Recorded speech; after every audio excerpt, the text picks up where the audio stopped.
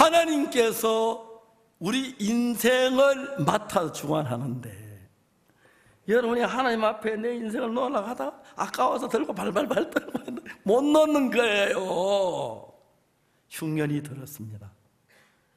인간적인 방법으로 노리면 모압하면 잘 될 것처럼 보여.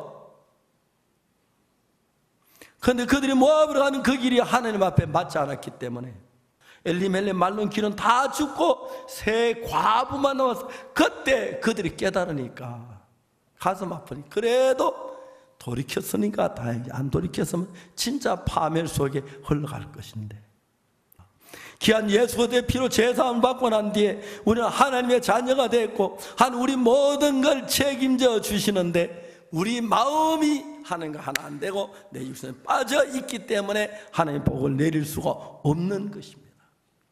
우리는 하나님을 위해서 일할 수 있는 모든 조건을 하나님이 갖춰 주신 분들입니다. 반대로 육으로 흘러갈 수 있는 길도 많이 있습니다. 여러분들이 세상 방법으로 살다가 이제 하나님 방 돌이키는 그 일을 하면 그때부터 여러분 삶 속에 예수 그리스도가 살아서 역사를 한다는 거예요.